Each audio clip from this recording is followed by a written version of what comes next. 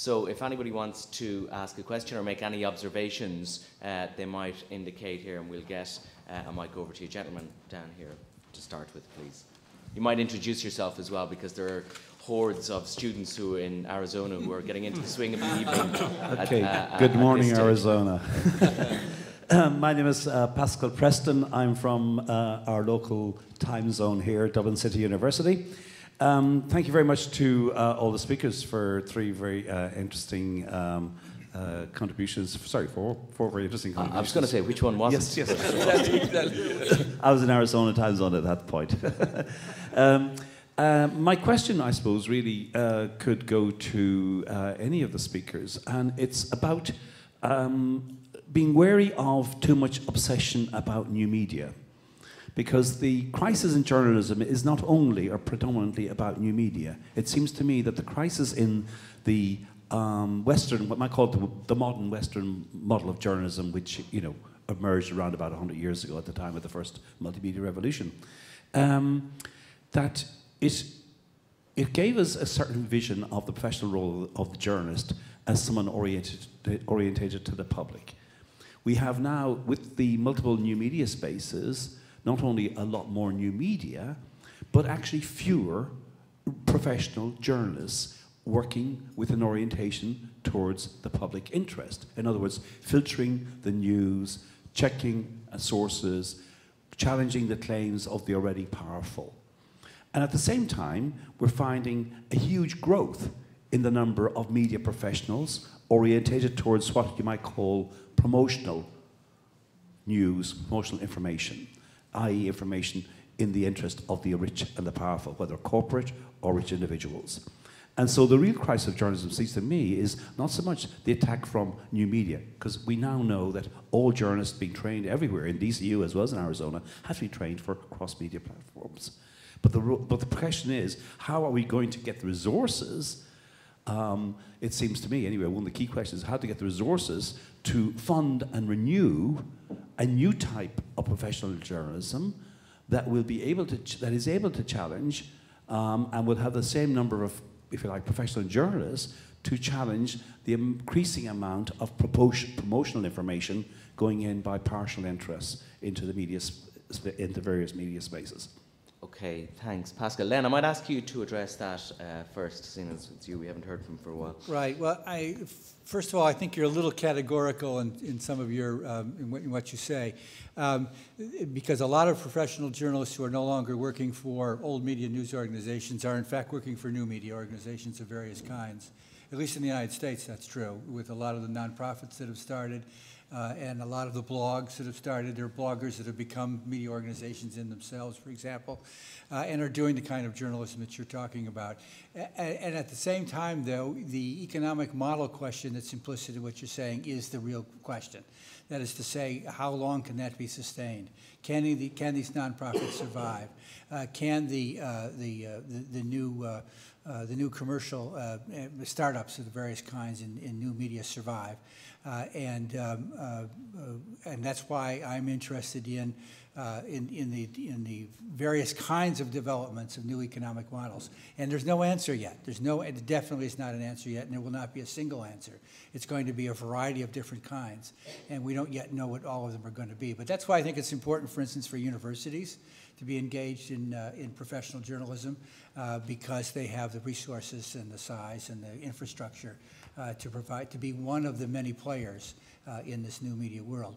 But in terms of the right economic models, we're, we're, we're going to have to keep experimenting, and we're going to, and it's, it's and it's, uh, it's frightful for journalists themselves, obviously, uh, many, many of whom are no longer salaried in the traditional way. I spent 44 years as a salaried uh, reporter and editor of a single news organization. I warned my students that will not be the case for them. And so that, it's the economic model is the big question, and I don't have an answer to it yet.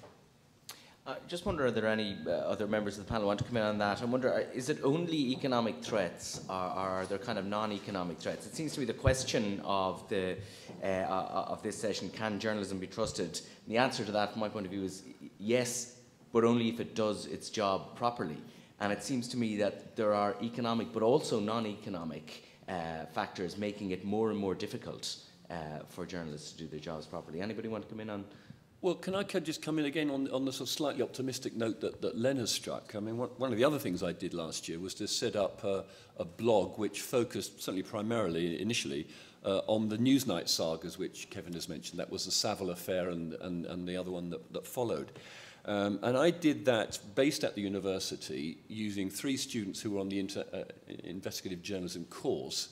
And we created what became regarded as the best timeline and kind of resource base for everything you needed to know about that. And that led us inevitably to make discoveries about what had happened. And, uh, you know, the, all the blog views were fantastic. And it was, but what was really interesting I found was it was the relationship between the old media and the new media you're talking about. I got quite a lot of pickup. I mean, I, you know, my blog was being covered in New York papers, uh, you know, on the Wall Street Journal. I got virtually no mentions in the British media. And in fact, I began to get faintly hostile calls from the British media. I remember once being called by the edit, media editor of The Guardian, Dan Sabbagh, uh, actually texting rather than me, saying, Where did you get that from? You must tell us. As if somehow I had a kind of responsibility to report to the old media on my findings. And I found that kind of, I thought, well, look, I'm an old lag, I can put up with that. But if I was a kind of young new player, I'd find that rather patronizing that somehow I had to report into the old media on my findings. So I think the old media's got a bit still to discover on its relationship with new media. Esra, do you want to come in on that? yeah? Sure. yeah, I think uh, there's two parts to, or two ways to answer this question. So number one, it depends how you use it.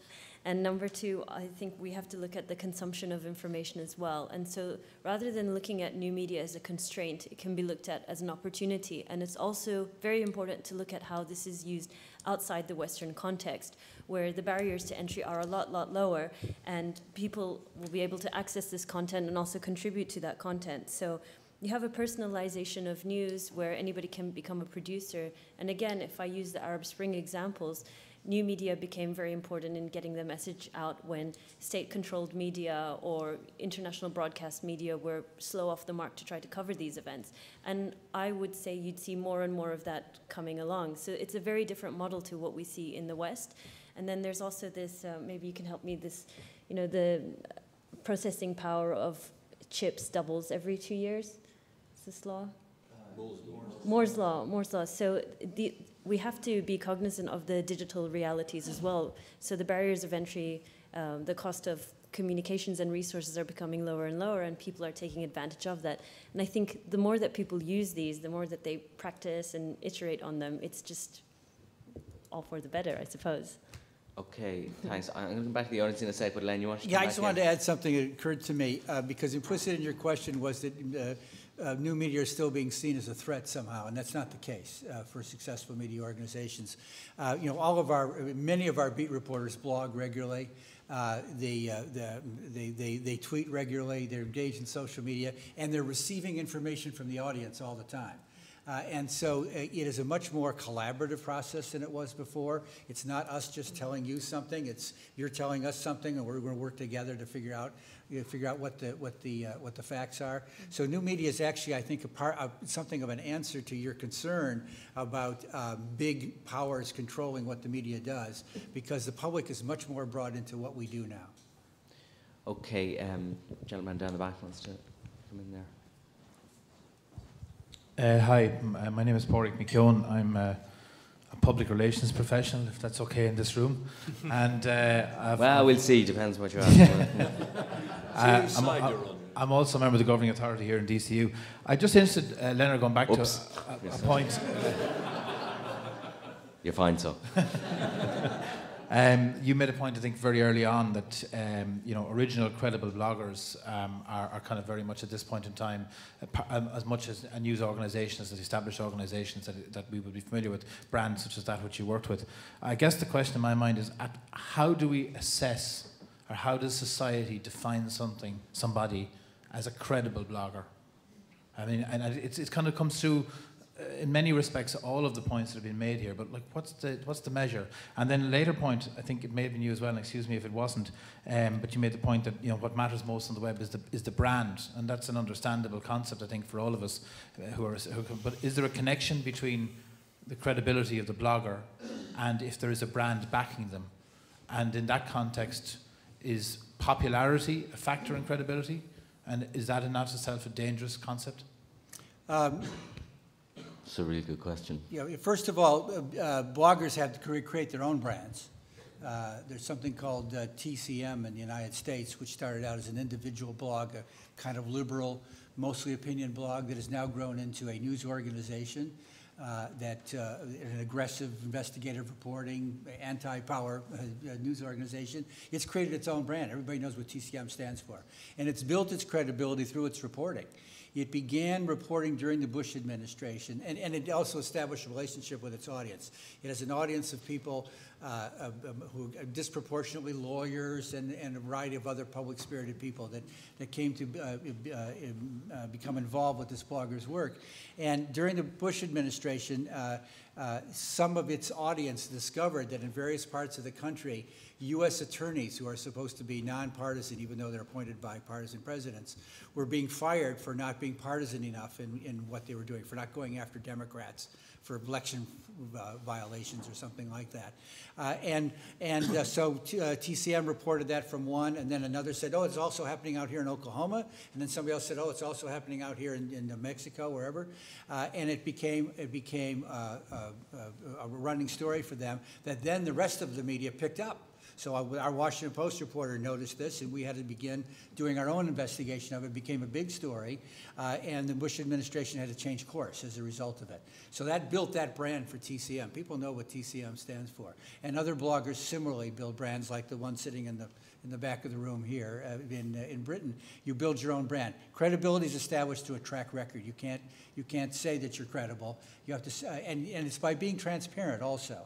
Uh, uh, uh, new media Uh, uh, uh, new media brands that are built, ha they have to be transparent about their funding. If you're a nonprofit, you have to say who's contributing to you so that your readers can decide, are you being overly influenced by a certain kind of, of person who's contributing to you. Just as when you read a newspaper, you can see who's advertising because it's all there in the newspaper. So transparency is important to credibility and track record. You were just talking earlier about RTE or, or BBC. If you make a big mistake, you can be the largest news organization there is with the best possible brand there is. It can disappear in, in very quickly if you make big mistakes. Is that to say, Esra, I wonder that like the, the you know, the strengths of, the, of new media have to be the same as, in terms of their product, have to be the same as the strengths of, of, of old media, if I put it like that. That they, if they build them in the same way, then it's built on what we recognise as quality journalism, and that it is merely the uh, it's merely the delivery uh, of of the product of the journalism that is different. I think the values are essentially the same, but there's not really a one-size-fits-all answer, mm-hmm. uh, one-size-fits-all approach to answer this question. But I think I'll just bounce off what you said. It depends on uh, also numbers, so how many people are following somebody, but that's not always the most indicative thing. It's also who's following you. So you might have, let's say, 2,000 followers on Twitter, but out of those 2,000 followers, you've got government people following you. Right. And also, yes, I agree with the rule that if you fail, fail fast, apologize, make amends, and then move on very quickly. But I, I, love this line that you said that credibility is an established track record. And I think that's essentially what it is at the end of the day. But there's no really barriers to entry. And I think that line between traditional journalism and new media journalism is becoming more and more blurred. It's a reality that we have to deal with. If I can add just one thing about bloggers' brands, several of the most followed and credible bloggers on WashingtonPost.com now started out as individual bloggers themselves uh, in various spaces and, and developed such a good track record and such a following that we wanted them to work for us. And they still operate in a fairly independent journalistic way, even though they're part of the Washington Post family. Mm, Stewart? Could I just make one point? First of all, to agree with everything that Len said is, is about how bloggers build uh, brands, their own brand. But just let's sort of unpack this word credibility for a second. I mean, Peter Horrocks from BBC Global News is going to talk uh, later on. About a decade ago, I was on a body that sort of oversaw BBC World Service, and they showed us some research that showed us that they, uh, around the world, BBC was one of the world's most trusted news brands. Mm. But according to this survey, the most trusted was Chinese television. Now, kind of, what I take away from that is that actually what that means is that people watching Chinese television know that is the, it is the authoritative voice of the Chinese regime. So it has a different kind of credibility. Right. So I think so, I think we're going to come on to later what's wrong with partisan media. I think actually, you know, being the, the source of a partisan point of view is a credibility of its own kind. It has its own value uh, in the blogosphere and in new media. And therefore, we shouldn't dismiss you know, uh, these organizations as incredible. It's just that they offer a different version of credibility. That's a very good point. Okay, gentleman in the middle here, and then we'll come up the front. Thank you, Pat. David McRedmond from TV3.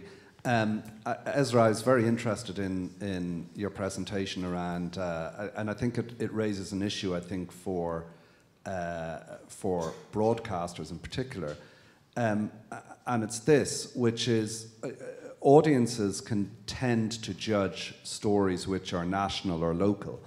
It becomes very difficult for audiences to judge stories which are further away and where there is no context. And you had up in your, your slide about reporting being the facts, I think, and journalism being the context.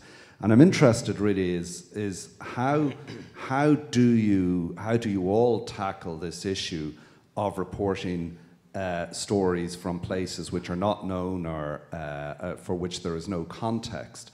And, and how do we judge them? I know that certainly since uh, Kevin came to RTE, I think RTE has had a much greater focus and, uh, and should be congratulated on it on sending reporters to places where typically RTE wouldn't have had reporters before. Um, but for the rest of us who are resource constrained, and indeed RT in places resource constrained, it can be very difficult to, uh, you, you have to rely on the global news organizations. How, how, how, do we, how do we as organizations or you as journalists uh, work your way through that to make sure you're giving something that is actually a balanced view. So I can speak about maybe my experience at Al Jazeera in answering this question. So as most of you are probably aware, Al Jazeera really made its reputation by covering the Middle East, the region, and then also going after stories that the mainstream press didn't go about. So looking at areas like African continent, Southeast Asia, etc., areas where I would say larger broadcasters don't really have a presence. Now, the way that we did this, especially during Arab Spring coverage and then also beyond that, and new media facilitates this so well, and we, used it so much, is by actually finding people on the ground who are credible. So following bloggers, activists, people on Twitter, and that's not to say that Twitter is the only social platform, but we look at what people were using, and then you make con connections with them, invite them to conferences, start to make those human connections so that when something happens, you know exactly who you go to at that time. And I think that's something that um, we should be encouraging more and more because that also makes your uh, your content and your the context that you make a little bit more authentic. And I don't think in this day and age there's really an excuse of not being able to do that. So it's not just about agency copy, but you can again, I use Andy as an example. You're curating your context and finding the people who are credible on the ground who are talking about something, and there's nothing stopping you from directly getting in touch with them and, and having that kind of narrative. I think this also touches a little bit on an editorial question as well, and it's those people who are at higher levels who have to make sure that the impartiality and both sides are always captured. Kevin, let me go to you on that question uh, as well. Hi, David. Um, I think it's a really it's a it's such a valid question about all news reporting really. Um, I mean, it's kind of struck home to me since I've been here when sometimes I see RTE reporting uh, from the UK on British stories. Um, you know, we'll send we don't have a London bureau at the moment, so we'll send someone over, and you know, the different reporters have different levels of sophistication they bring to the story, and I think part of it is about giving them the time and the space to talk to people and understand on the ground. I mean, but you can do that here as well, you know, just to have the time and the space to, to read copy, uh, read credible reporting from the region, as well as just look at the agency pictures and so on that are coming in. Um, you know, you know, you've got experience, good news correspondents at TV3 who do that the same way we do. So there are some correspondents who have a particular specialization and specialisms in whether it's foreign news um, or whether it's business or whatever. I think if you have a if you have a specialist uh, kind of starting point level of knowledge, if you like, um, and then you try and immerse yourself as much as humanly possible, it's not always it's not always easy. Um, you know, I think that's one thing that you know, frankly, TV3, RTE will it's a challenge we'll face when we come up against people like the BBC and Al Jazeera, who I think the BBC has 45 foreign bureaus. I don't know how many Al Jazeera have, but a, a lot and a lot of money to have people in those countries. And you know, in the end, there is That's why we maintain bureaus in Washington and, and Brussels, and at some point we might have one back in London if we have the money for it. Because frankly, living there, absorbing it, a country and the nuances of it, um, you know, there is, in the end, there's, there's no kind of um, better way of actually bringing a level of sophistication to the reporting. And I think, you know, look at Turkey, it's interesting. It was the same, you know, to some extent it's been the same in Egypt and so on. When you've got, you know, a very small geographical area which is full of a lot of people, that can become a sort of emblematic of an easy, you know, lazy way to report what's going on in a country when actually there's an awful lot more going on outside that square kilometre or whatever in, in the city, and it's, it's hard to capture that if you're just taking ag agency pictures of the main event. I think it's important to try and read around it and look at different sources and so on. Uh, and how important is it for RTE? Uh, just can you talk a little bit just about your decision-making process in sending people out? How important it is to have a distinctively? I mean, presumably you can get the stuff from international providers, you can get the stuff uh, from the wires or whatever. But how important it is, and how do you judge whether to send somebody, whether it's to Turkey or, or, or, or wherever? I mean, my personal view, and this, I suppose, this is a slightly sort of old-fashioned thing in a way, is that you know I do think there is nothing uh, better to lend credibility to reporting than actually being on the spot reporting it yourself. I mean, it's one of the reasons I felt it's really important that we maintain the regional offices around Ireland because you know, if you, if you have people on the spot, particularly if they're living there, um, uh, you know, you can remain in touch with the stories, you have your contacts, all that kind of thing. So in terms of sending out on stories, you know, I mean, it's obviously it's a judgment of how big is the story, how much will we bring to it by being there, um, um, and how much does it cost, and how dangerous is it? And, you know, you weigh up all those usual things. But uh, I think if you're going to be an, a serious news provider competing, you know, as we now are in Ireland with Sky News, BBC News, ITV News, people can access all that. You know, we have to do well on the big stories, the big international stories, as well as on obviously all the big Irish stories. Okay, thanks. I'll go back to the audience here up the front and we'll go back down then. We're stretching it a little bit on time, I understand, but we can let it go for a few minutes. Hi, uh, Laura Slattery from the Irish Times. My question is slightly re related to David's, actually, in that I was quite struck by the words you used, Esra, on one of your slides. Um, I think it was news that requires the least effort. And I'm just wondering the question is for all of the panel um, what danger do you see that that uh, kind of philosophy, news that requires the least effort, in an age where you know almost everybody, uh, every media organisation uh, is strapped for cash, uh, that that will become embedded as the kind of starting point from the top down um, when journalists are being asked to cover a story? I'm going to you because you're the nearest to me. I think this gets back essentially to the question of what is the role of media, what's the role of news organization, and again, uh, media producers and providers are in the unique position that they're shaping public opinion.